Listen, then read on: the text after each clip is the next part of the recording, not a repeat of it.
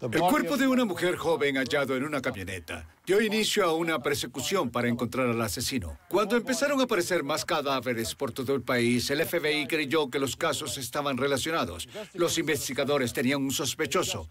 No pudieron encontrarlo. Soy Jim Castro, exdirector del FBI en Nueva York. Los agentes solicitarían ayuda a las autoridades y transportistas de larga distancia para detener al asesino a campo traviesa. Extraño mortal.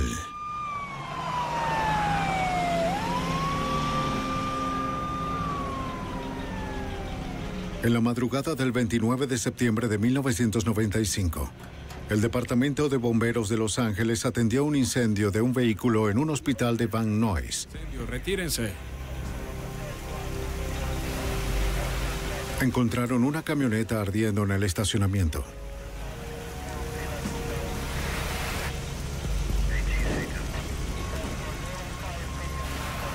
Cuando las llamas se extinguieron, encontraron restos humanos. Los bomberos se pusieron en contacto con la División de Incendios y Homicidios del Departamento de Policía de Los Ángeles. ¿Qué sucedió?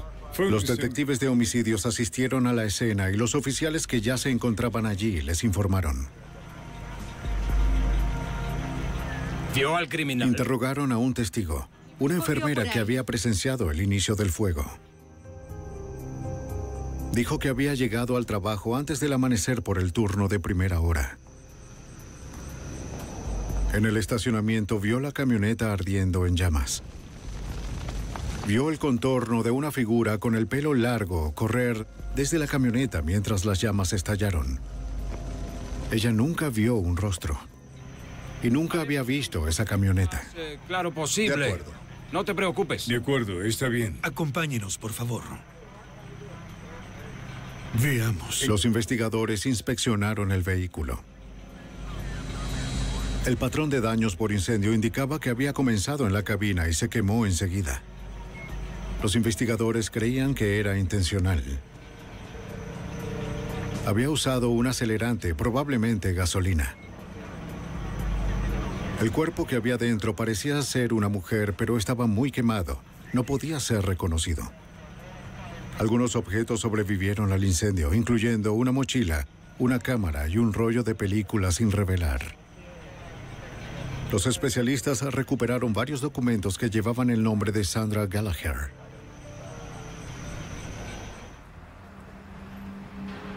Al amanecer, los detectives de la estación Van Nuys de la Policía de Los Ángeles ya habían comprobado la matrícula de la camioneta. De acuerdo, volveré a llamar. Adiós. Según los registros del Departamento de Vehículos Automotores, el detective Mike Koblenz confirmó que la camioneta era de Sandra Gallagher. Habíamos trabajado un poco en la oficina y nos dimos cuenta de que estaba casada con un sujeto llamado Steve que vivía en el área de Los Ángeles. Intentamos contactarlo y acordamos hacerle un interrogatorio en la estación de Van Nuys. Los detectives sospechaban que Sandra estaba en la camioneta, pero la identificación por los registros dentales tardaría unos días. Me gustaría que viera algunas cosas que tengo, ¿de acuerdo?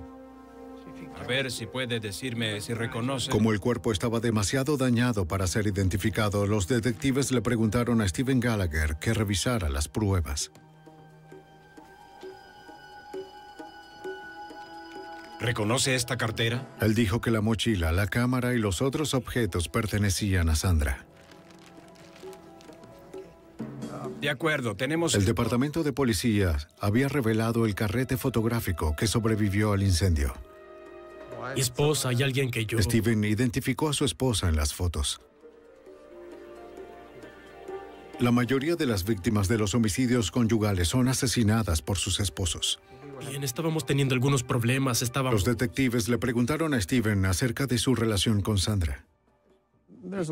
Hay mucha violencia doméstica y el maltrato conyugal es la dirección en la que vamos a investigar. En nuestro caso, en relación con Sandra Gallagher, queríamos descartar a su esposo como sospechoso y averiguar un poco más sobre nuestra víctima, Sandra. ¿Cómo va todo en el trabajo? Sí. Steven dijo que la última vez que vio a su esposa fue el 28 de septiembre, un día antes del incendio de la camioneta. Unas 60. Ese día la pareja se encontró para almorzar. Es posible que mi hermano lo asciendan. Él y Sandra estaban teniendo problemas maritales y habían pasado las últimas dos noches separados. Debería saberlo, creo yo, la próxima semana. Ah, Habían hablado acerca de reconciliarse, ¿Quién era ese sujeto? Con el que te vi en el bar la otra noche. El chico grande con chaqueta. pero las cosas aún estaban tensas entre ellos. No es asunto tuyo. ¿Y cuál era su relación? Steven les dijo a los detectives que la última vez que vio a Sandra fue alrededor de las 2 de la tarde, Paramos por un tiempo. aunque esa misma noche tuvo noticias de ella. Él dijo que Sandra lo llamó desde un bar local llamado McReed's. Lo sé, lo sé. Estaba muy emocionada y le contó que había ganado 1.200 dólares en la lotería. Adiós. Ya había superado lo de mi hermano. Sí. Desde la llamada, Steven no sabía nada de su esposa y no tenía idea de a dónde había ido. Había unas cuantas personas más allí. Los detectives tenían que comprobar su historia.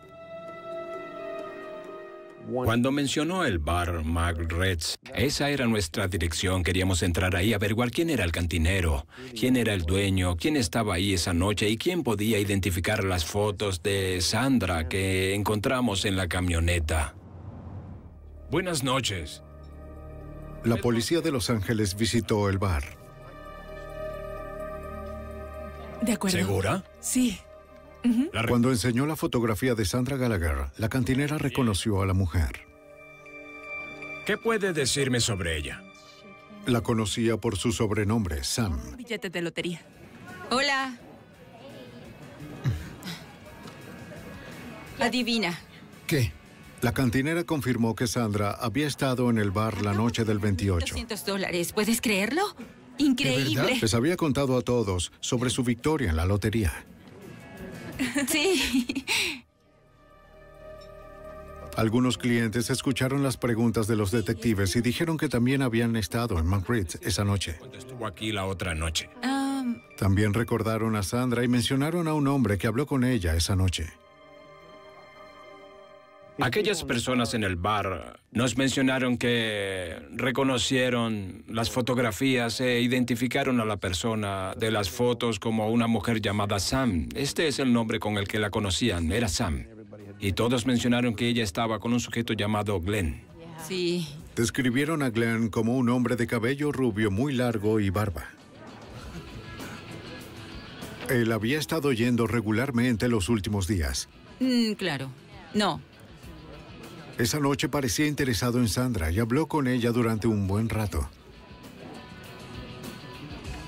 Glenn era amistoso y se mostró como un derrochador. Compró bebidas para Sandra y los demás. Vámonos.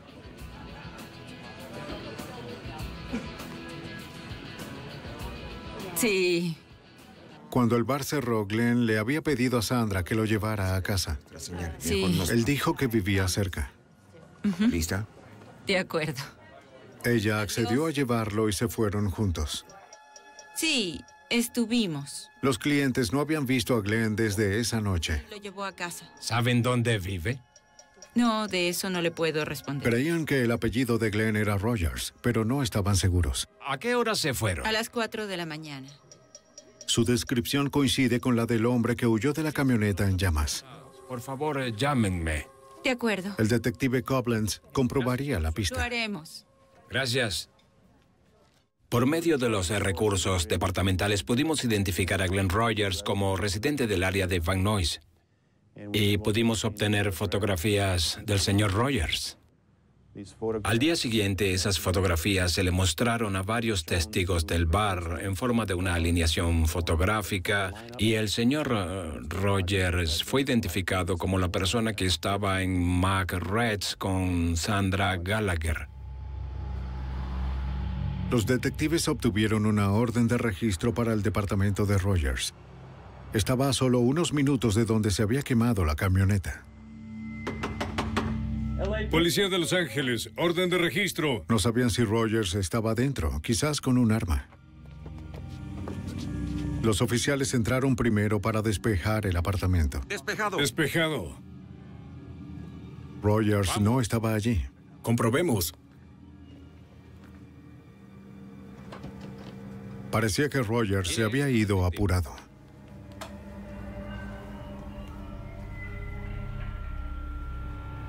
Los detectives recuperaron un bolso y un monedero femenino. Estaba vacío, no había dinero y no tenía identificación. Sin identificación. También encontraron un pendiente de mujer.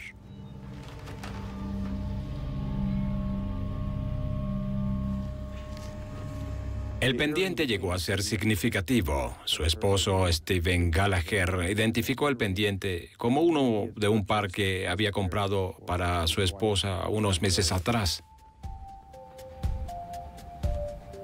Después de varios días, el forense hizo su reporte. Afirmó que los restos que se encontraban en la camioneta eran de Sandra Gallagher. También determinó que ella no murió quemada. Descubrimos que en el área nasal de nuestra víctima no había presencia de hollín, humo u otras cosas. El hecho de que no haya aspirado el humo del fuego o el hollín, etcétera, era un indicio de que había muerto antes del incendio. La madre de tres hijos había sido asesinada por estrangulación manual.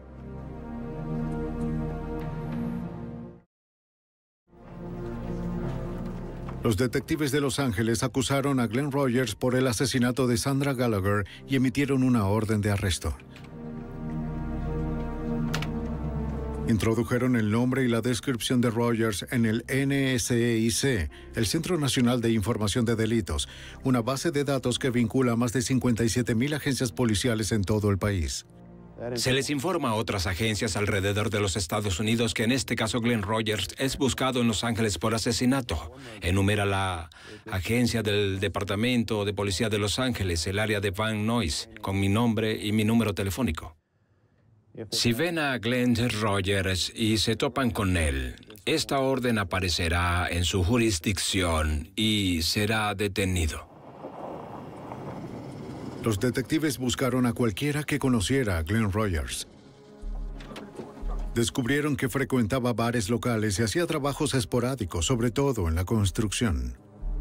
Detective Koblenz, policía de Los Ángeles, ¿podemos hablar? Claro. Visitaron varios sitios de trabajo e interrogaron a sus amigos y compañeros de trabajo. Sí, señor. ¿Busca a alguien? A través de testigos y amigos supimos que Glenn tenía mal genio. Cuando bebía se enfurecía por nada e incluso fue violento con sus exnovias. Así que sabíamos que estábamos tratando con alguien que podía volverse violento, en especial con la bebida, como fue en nuestro caso con Sandra Gallagher. Si ve o oye algo... Uno de sus amigos dijo que no había visto a Rogers desde hacía tiempo, pero prometió contactar a la policía si oía noticias suyas. Pocos días después, el amigo de Rogers llamó.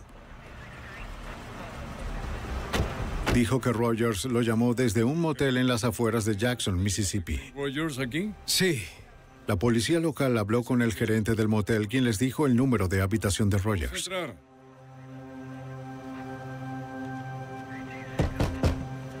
Policía, abra.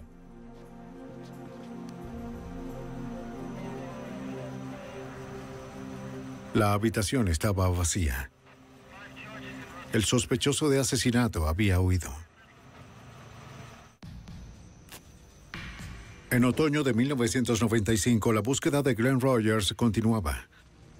La policía creía que huyó de California después de asesinar a una mujer el 28 de septiembre. Una pista los llevó a un motel de Mississippi. Pero Rogers había desaparecido antes de que la policía llegara. No está aquí. De acuerdo.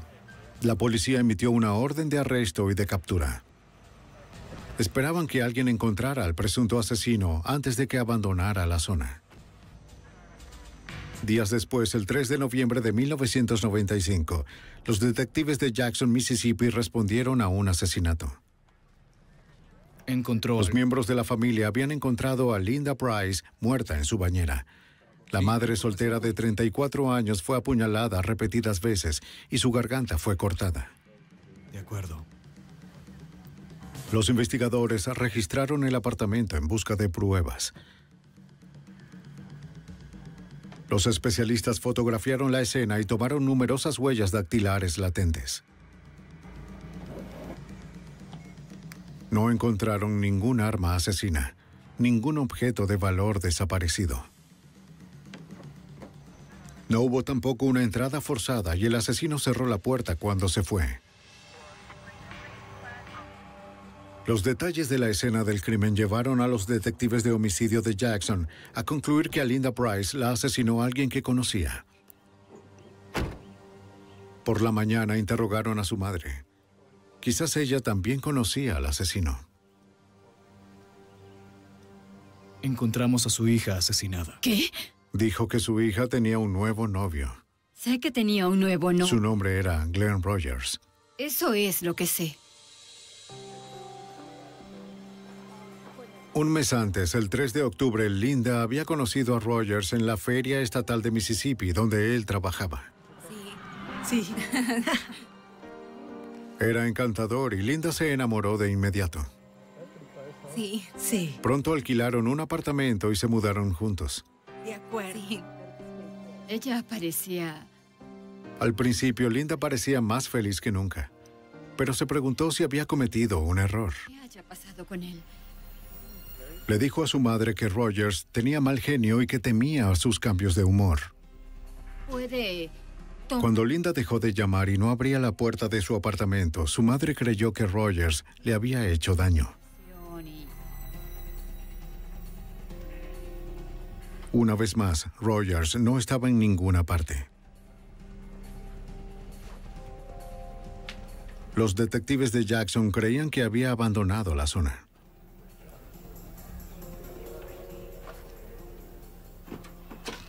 Introdujeron su nombre en la base de datos del NCIC.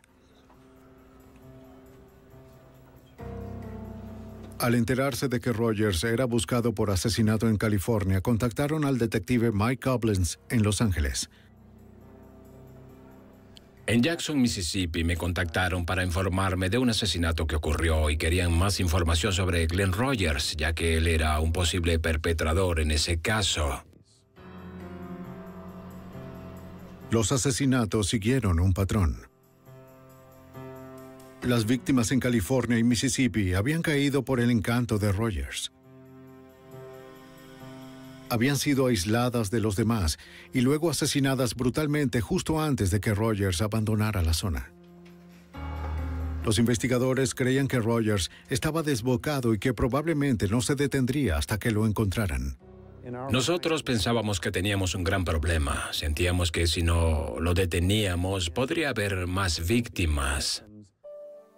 La policía de Jackson le pidió al público que si alguien veía a Rogers en la zona, los llamara. tendremos que ir y esperar. Hubo testigos que dijeron haberlo visto, pero Rogers se mantuvo un paso adelante de las autoridades. Los detectives contactaron a la oficina del FBI en Jackson. Hola, tengo otras tres fotos de la escena del crimen. Creían que Rogers había salido del estado como lo hizo después del asesinato de California. Por lo que puedo ver, estamos... Los agentes presentaron una orden federal de arresto por fuga y evasión de la ley para evitar ser detenido. Muy sospechoso. Quizás los medios federales podrían ayudar a detener al asesino. El agente especial del FBI, John Huber, ayudó a coordinar la investigación en varios estados. Este caso fue muy, muy rápido. La persona que asesinó el 3 de noviembre en Jackson fue Linda Price. Mm, después de eso, cometió otro asesinato el 6 de noviembre. Ese día la policía de Tampa, Florida, respondió a una escena del crimen en una habitación de motel local que fue alquilada por Glenn Rogers. Como Linda Price, la joven yacía muerta en la bañera, apuñalada en la espalda, el pecho y la muñeca. No había identificación de la mujer en la habitación, pero los investigadores notaron un tatuaje de una cruz en un hombro. Sus jeans y zapatos estaban amontonados cerca del baño. Encontraron un brazalete en el lavamanos. A partir de las pruebas que había dejado, la detective de homicidios de Tampa, Julie Masucci, intentó reconstruir los detalles del asesinato. Cuando le quitamos la ropa, parecía que la habían apuñalado a través de su vestimenta, lo que significa que nunca se desnudó. Y fue por la parte de atrás. Parecía que alguien se acercó por detrás y la apuñaló. Los zapatos tenían manchas de sangre en la parte superior, es decir, los llevaba puestos y estaba de pie cuando la atacaron. Bajo su cuerpo estaba el reloj de un hombre. Los investigadores sospechaban que pertenecía al asesino. Fue significativo que la pusieran en una bañera y que alguien tratara de limpiar cualquier prueba que hubiera dejado.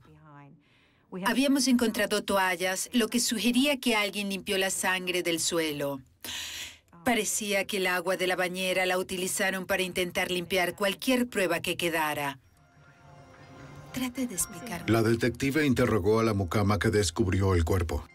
Sí, cuando llegué estaba... Esa mañana estaba haciendo sus rondas diarias justo después de la hora de salida. ...del baño y la vi.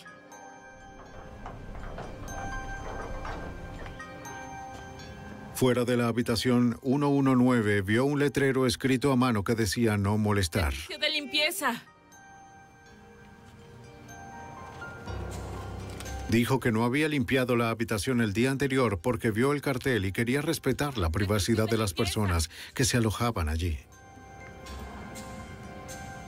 Ese día los ocupantes tenían previsto marcharse.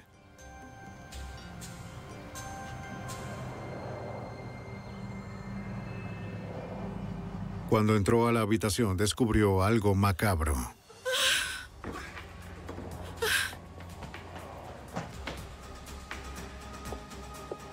Los detectives le preguntaron a la gerente del motel si sabía acerca de las personas que se alojaban en la habitación 119.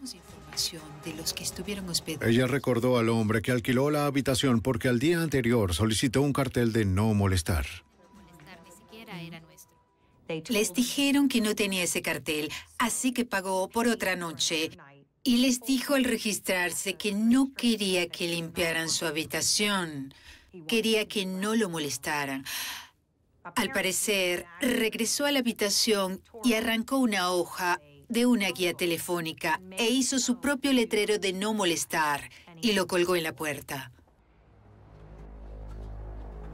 La gerente del motel recordó al mismo hombre esa noche metiendo unas cosas en un pequeño auto blanco. Él había pagado otra noche, así que ella no pensó que se iba a ir. Le advirtió sobre los recientes robos en el motel y le dijo que no dejara nada en el auto durante la noche.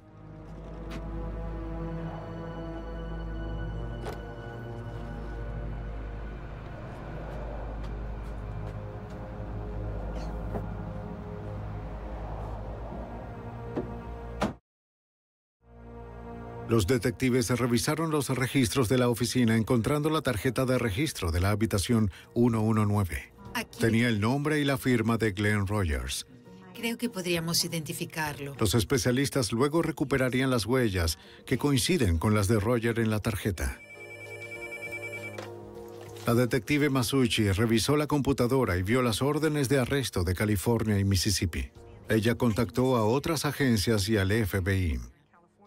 Luego nos dimos cuenta que en la investigación había una posibilidad de que este hombre, el señor Glenn Rogers, fuera un asesino en serie. Los investigadores sabían quién era el asesino, pero los detectives de Tampa aún no habían identificado a la víctima. Se quedó en la morgue como la desconocida. Si pudieran identificarla, les ayudaría a encontrar al hombre que la asesinó y al menos a las otras dos. En otoño de 1995, después de vincular los asesinatos en California, Mississippi y Florida con un hombre, el FBI y los detectives locales buscaron al asesino en serie Glenn Rogers. La última víctima fue encontrada en la habitación de un motel en Tampa seguía sin ser identificada. En respuesta a la cobertura de los medios de comunicación, una mujer cuya hija estaba desaparecida por dos días se presentó. Identificó y confirmó que era el cuerpo de su hija, Tina Marie Cripps. Tina tenía dos hijos. La madre de Tina le habló a la detective Julie Masucci sobre el último día de su hija.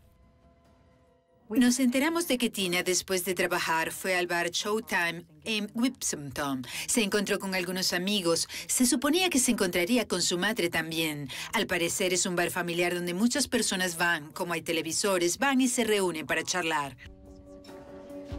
Los detectives visitaron el bar Showtime.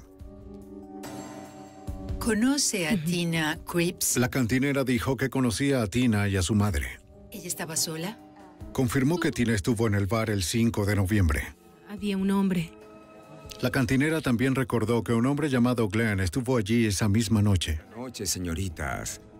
Habló con Tina y las demás. de acuerdo. disfruta el momento. Te diré algo, cantinera. Pagó una ronda de bebidas con un billete de 100 dólares. ¿Con un billete? La cantinera dijo que el sujeto era bastante amigable y conquistó a Tina de inmediato. Empezó a hablar con un hombre que era... Luego le pidió a Tina que lo llevara a su casa. Bien, él era... Dijo que la habitación de su motel estaba cerca y le prometió a Tina que volvería a tiempo para encontrarse con su madre. Bien, genial, gracias. Tina finalmente accedió y les dijo a los demás que volvería enseguida. Definitivamente no. ¿No es propio de ella? Cuando su madre llegó al bar Showtime, se sentó y esperó, pero su hija no apareció, así que dijo que empezó a llamarla para saber dónde estaba. Comentó que ella y su hija eran muy unidas, así que de inmediato se dio cuenta de que algo andaba mal porque no respondía a sus llamadas. La detective Masushi también se enteró de que Tina tenía un Ford Festiva blanco, el mismo tipo de auto que la gerente del motel de Tampa le había visto a Rogers guardando sus maletas. Actualizó el informe del NCIC sobre Rogers e incluyó el Festiva y su número de matrícula en la información del fugitivo. El agente especial del FBI, John Huber, se sorprendió de que Rogers no estuviera tratando de ocultarse. A Glenn Rogers no parecía importarle si lo capturaban. No le temía a la ley. Siempre usaba su verdadero nombre cuando se registraba en los moteles. No conducía autos robados ni de sus víctimas, para que no lo relacionaran, tampoco su propio vehículo. No parecía importarles que las personas sabían lo que ocurría, no intentaba esconderse. La búsqueda del asesino en serie llegó a las noticias. Los canales de televisión del suroeste transmiten imágenes de Rogers, pidiendo a cualquiera que lo vea que llame a las autoridades. Sí, lo transmitiremos. Cientos de pistas llegaron al FBI. Una pista prometedora vino de un motel de Jackson, Mississippi. ¿Ha visto a este hombre? Dos personas que llamaron por separado dijeron que habían visto a Rogers. Sí, por allá. Rogers ya había estado en Jackson y era conocido por frecuentar pequeños moteles. Establecimos un perímetro alrededor del motel y tuvimos un equipo de entrada listo para irrumpir. ¡Policía! ¡Venga a la puerta! ¡Venga a la puerta con las manos en alto! ¡Venga a la puerta! ¡Las manos en alto! Donde ¡Contra la pared! ¡Vamos! ¡Contra la pared! Los agentes fueron cautelosos hasta que pudieron identificar al hombre. La pared! ¡Eso es! ¡Vamos! ¡No se mueva! ¡Contra la pared!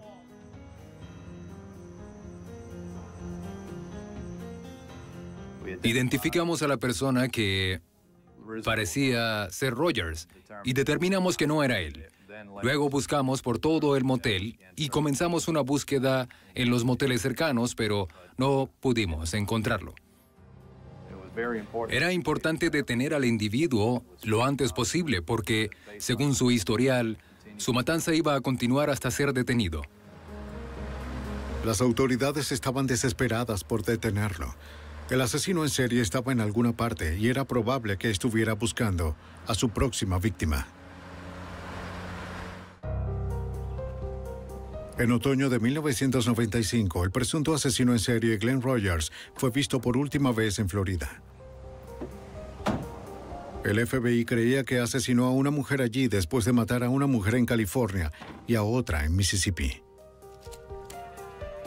El FBI pronto descubrió que Louisiana fue su siguiente parada. El 10 de noviembre de 1995, Andy Sutton, madre de cuatro, fue encontrada muerta en su apartamento en Bossier City, Luisiana. Moretones en las piernas. Como las otras víctimas, tenía múltiples puñaladas en la parte superior del cuerpo y en la espalda. Entonces, ¿a qué hora la vio por Un detective de Bossier City interrogó a la compañera de cuarto y al exnovio de la víctima. ¿Había alguien presente? Ah, no. La compañera de Andy era camarera y había trabajado hasta tarde la noche antes de que la asesinaran. Carla, y fue entonces cuando... Cuando volvió a casa en la madrugada, oyó la puerta del dormitorio cerrándose. Asumió que era Andy y su nuevo novio Glenn Rogers en el dormitorio del apartamento.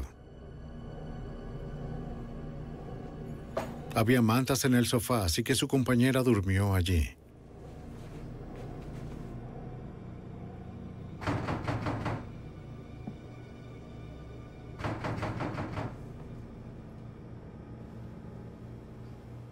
Después del amanecer, la despertó el sonido de la puerta.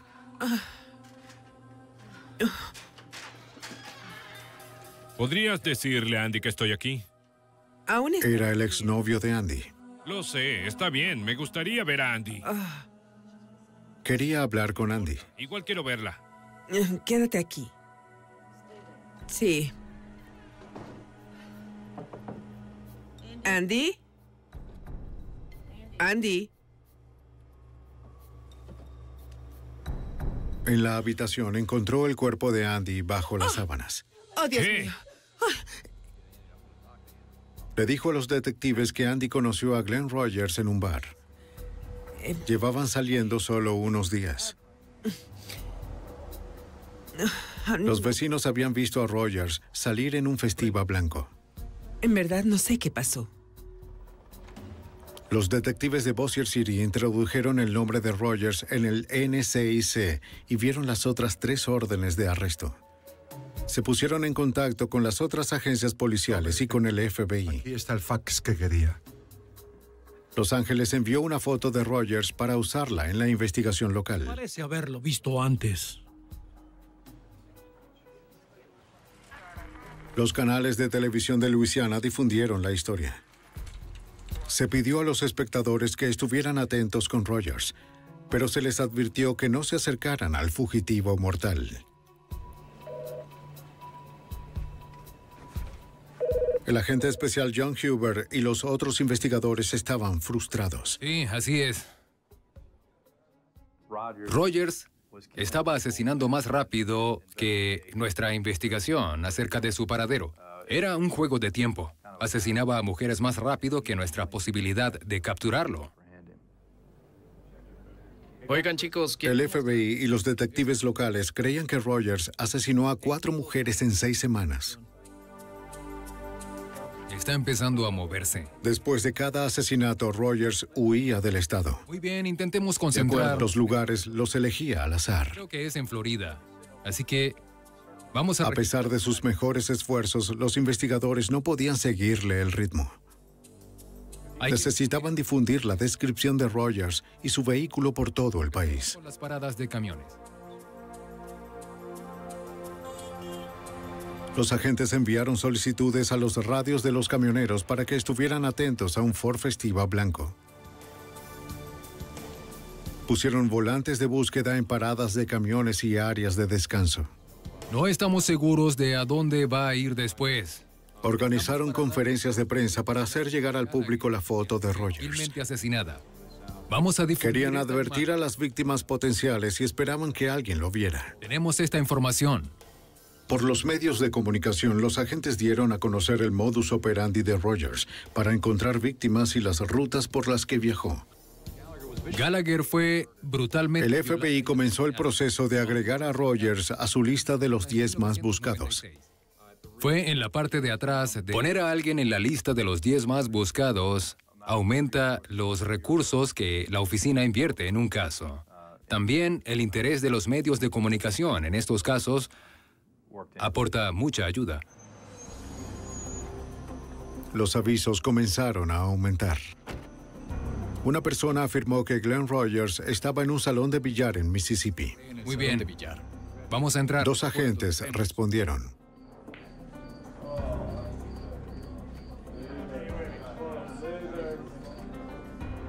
Uno de los inconvenientes de una intensa campaña de los medios de comunicación son las numerosas pistas falsas de los ciudadanos bien intencionados. Caballeros, agente Huber, FBI. El hombre en el bar definitivamente no era Glenn Rogers. Por favor.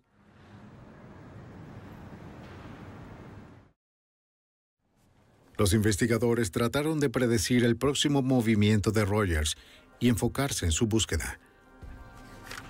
El agente especial Huber ha trabajado en muchos casos de fugitivos. Cuando hay una investigación de un fugitivo que está en problemas, se determina que se van a áreas con las que están familiarizados, donde son socios o tienen amigos.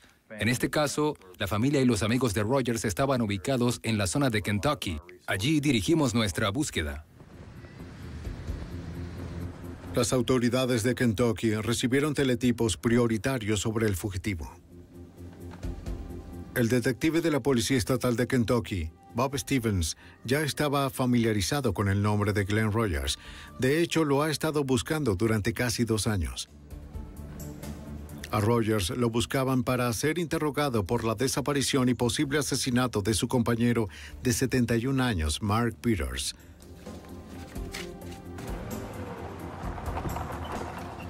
Casi dos años antes de que comenzara la ola de crímenes de Glenn Rogers por todo el país, su hermano había llamado a la Policía Estatal de Kentucky.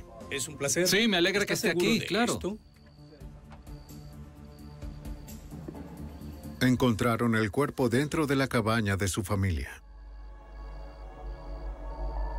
No, no, no tengo. La policía creía que era Mark Peters.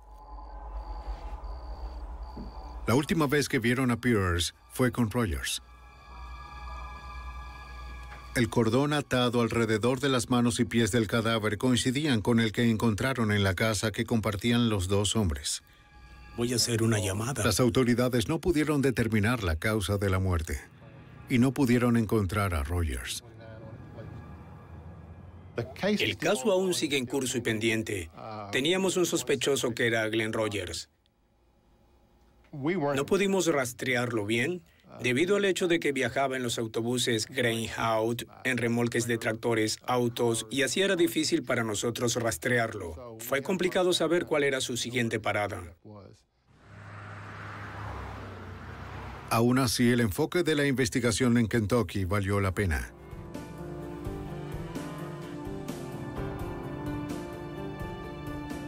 El 13 de noviembre de 1995, Glenn Rogers visitó a una persona de su familia en el condado de Lee, Kentucky.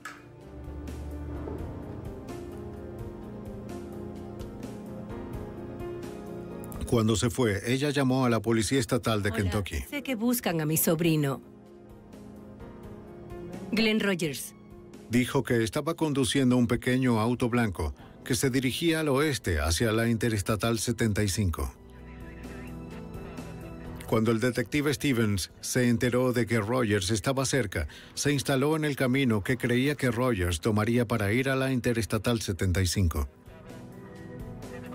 No transcurrió mucho tiempo hasta que pasara un Ford Festiva blanco. El detective comenzó a seguirlo. Quería asegurarme de que era Glenn Rogers y no otra persona. Como ya había ocurrido antes, así que fui detrás del auto. Cuando comprobé las etiquetas del vehículo, en efecto, era robado, así que comencé a seguirlo. Me acerqué al auto como si fuera a pasarlo y eché un vistazo. Pude ver quién era y la foto que tenía de Glenn Rogers coincidía con la del conductor.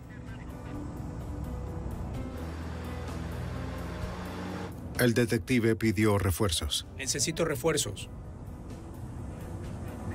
Un oficial de policía local estaba estacionado cerca. Se unió a la persecución lenta. Siguieron a Rogers a una distancia. Creo que él me observaba yo también a él. Para entonces ya se había dado cuenta de que un oficial de policía lo seguía. Así que nos detuvimos en un semáforo.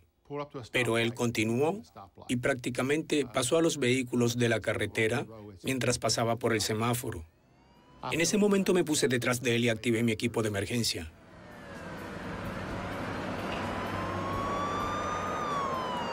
Rogers no se detuvo, aceleró aún más. Descubrió. Manténganse alerta. Varios kilómetros adelante, la policía estableció un puesto de control e intentó despejar el camino.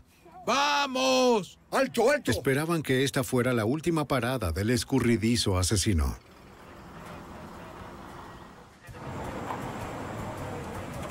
El 13 de noviembre de 1995, la Policía Estatal de Kentucky estableció un puesto de control en un esfuerzo por detener al presunto asesino en serie Glenn Rogers. Los oficiales armados esperaban en el puesto de control. Dispárale a sus neumáticos, dispárale a sus Dispararon a sus neumáticos, pero no detuvieron al asesino. El detective Bob Stevens estaba muy cerca.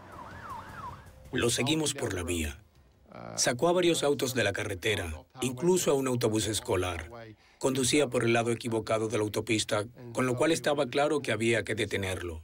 El sargento Beasley se detuvo al otro lado de la carretera donde se encontraba. Lo desvió del camino haciendo que se detuviera en una zanja, lo golpeó y lo sacó del vehículo.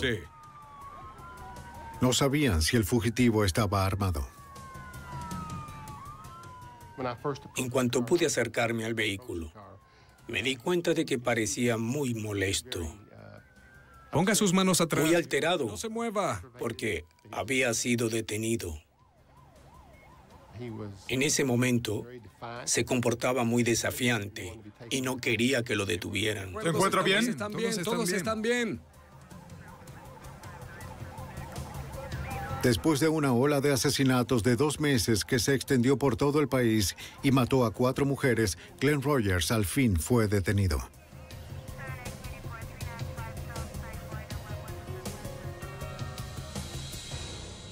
El número de matrícula del Festiva Blanco confirmó que el vehículo pertenecía a Tina Marie Cripps, la víctima en Florida. Los especialistas registraron el vehículo en busca de pruebas. Encontraron pantalones cortos con sangre, una manta y un bolso de mujer. Estos y otros artículos vinculaban a Rogers con los asesinatos en Mississippi, Luisiana y Florida. Muy bien, registren todo. Bien, ¿qué encontraron, amigos? El FBI sirvió como centro de intercambio para las pruebas. Agentes y detectives del FBI de cinco estados se reunieron para exponer el caso.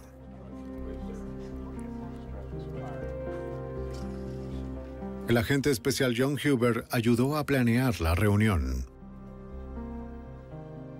Reunieron toda la información que tenían y la compartieron y el laboratorio del FBI procesó las pruebas del caso. Así una agencia tendría la custodia de las pruebas y haría los análisis correspondientes. En la bañera, Agentes y detectives estuvieron de acuerdo que el mejor caso contra Rogers era en Florida. La detective de Tampa, Julie Masucci, se reunió con los detectives y fiscales para revisar las pruebas. Observen, todos los detalles están allí. Creían que el reloj que encontraron en la bañera con la víctima pertenecía a Rogers. Una fotografía de Rogers con la víctima en Mississippi, Linda Price, revela que llevaba ese tipo de reloj. Los testigos han comprobado que la evidencia... La detective Masucci tenía confianza en su caso debido a las pruebas físicas que implicaban a Rogers. Teníamos el vehículo de Tina Cripps en donde lo detuvieron. Teníamos sus pantalones cortos que tenían el ADN de Tina Cripps, la hoja de registro que el señor Rogers firmó, las huellas dactilares que se encontraron dentro de la habitación del motel número 119 donde se encontró a la víctima y varios artículos que fueron encontrados dentro del auto cuando él fue aprendido. El 11 de julio de 1997, casi dos años después del asesinato de Tina Marie Cripps en un cuarto de motel de Tampa, Glenn Rogers fue condenado por asesinato en primer grado y luego sentenciado a muerte en Florida. Dos años después, Roger fue extraditado a Los Ángeles para ser juzgado por la muerte por estrangulación de Sandra Gallagher, cuyo cuerpo fue quemado en una camioneta.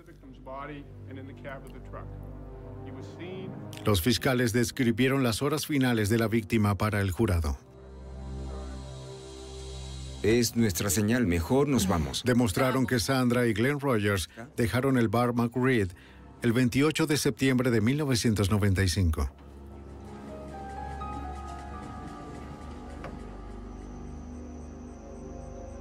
En algún momento hubo una lucha, tal vez cuando Rogers hizo un avance sexual no deseado. La estranguló aplastándole la tráquea.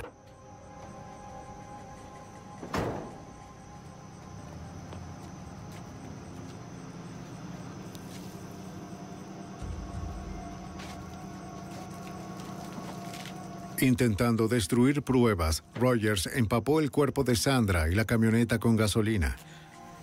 Les prendió fuego y entonces huyó. Gracias. El 16 de julio de 1996, un jurado declaró a Glenn Rogers culpable de asesinato. Glenn Rogers, el estado Fue condenado a una segunda pena de muerte en el estado de California.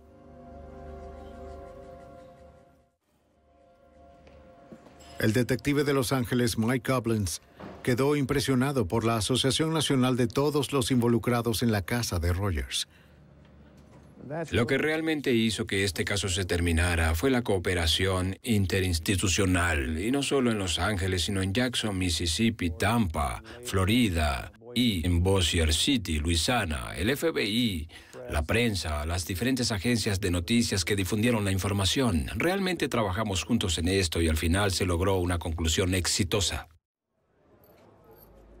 Como Rogers ya tenía dos sentencias de muerte, los fiscales de Luisiana y Mississippi decidieron evitarles trances emocionales a las familias de las víctimas. Dese la vuelta.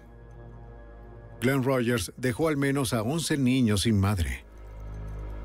Para la detective Julie Masucci y los otros investigadores, la importancia de detenerlo era muy clara. Como mujer, no como detective, no como policía, como mujer, creo que debe haber muchas mujeres que se sienten seguras porque él ya no está en las calles. Él no tenía ningún respeto por la vida humana, no tenía ningún respeto por los sentimientos de las familias y de sus víctimas. Nada le importaba. Estoy feliz de que esté tras las rejas. Y estoy feliz porque nunca pondrá un pie fuera del sistema penitenciario, lo que sería poner en peligro a otras mujeres. Los investigadores sospechaban que Rogers es responsable de más asesinatos sin resolver. Le dijo a los miembros de sus familias durante el juicio que mató a docenas de personas. Las autoridades procuran resolver los asesinatos que están relacionados con Glenn Rogers, cuyos casos aún no están resueltos.